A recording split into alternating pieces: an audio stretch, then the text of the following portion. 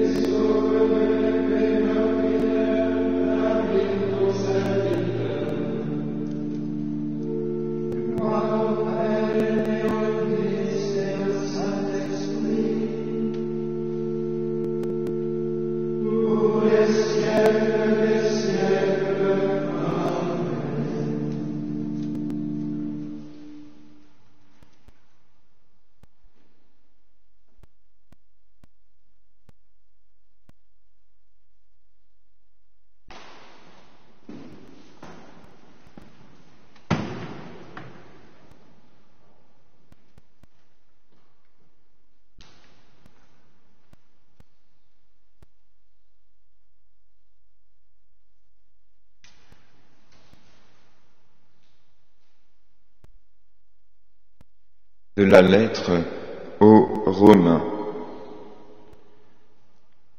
Je vous exhorte, mes frères, par la tendresse de Dieu, à lui offrir votre personne et votre vie en sacrifice saint, capable de plaire à Dieu.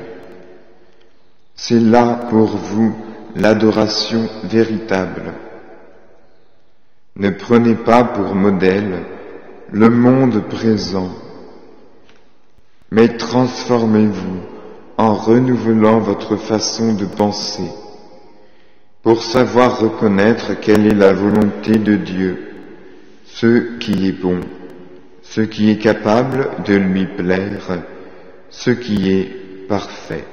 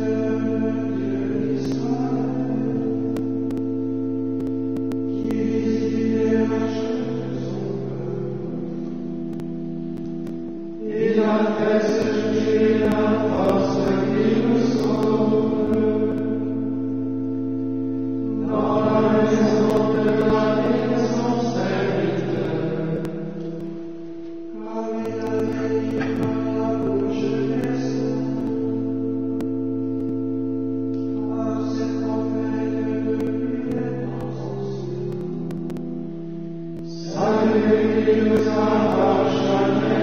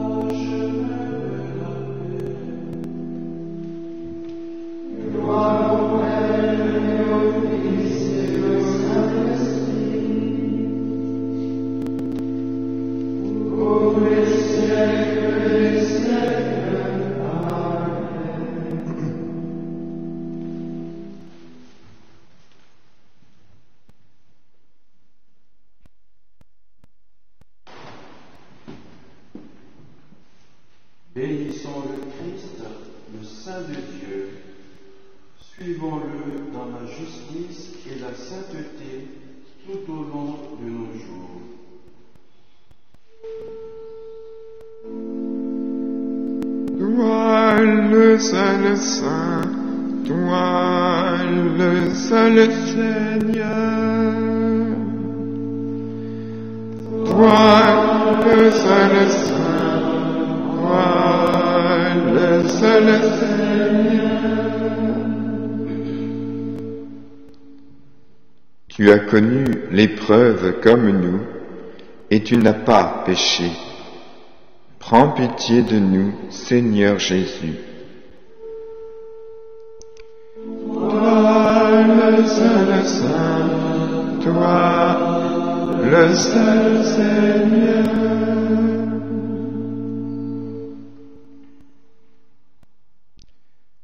Nous appelles à un parfait amour de charité. Sanctifie-nous, Seigneur Jésus.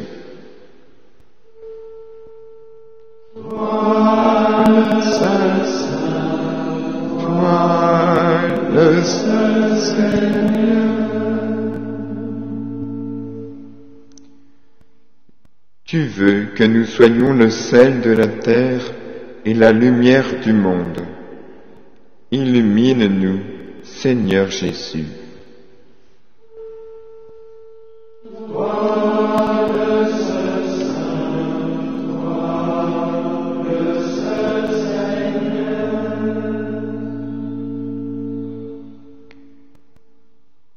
Tu es venu pour servir, non pour être servi. Change nos cœurs, Seigneur Jésus.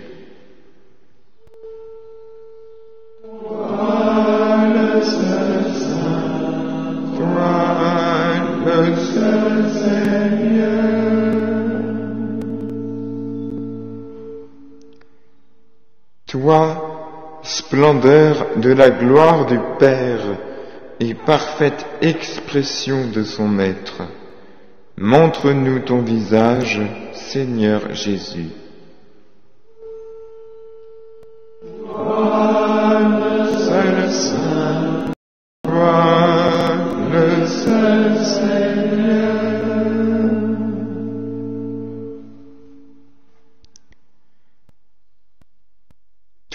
Le Saint des Saints, tu invites tous les hommes à la sainteté, à la prière de ta mère, comble de tes grâces nos parents, nos amis, les étudiants et tous les jeunes qui sont sous le patronage de Saint Louis de Gonzague.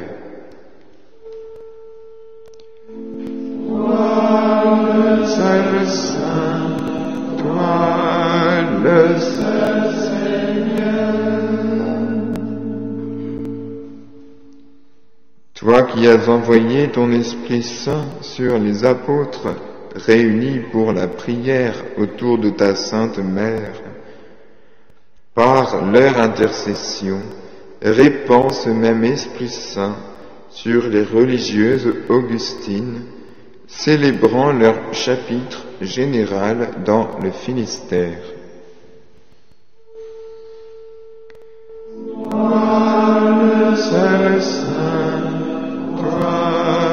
Le seul Seigneur.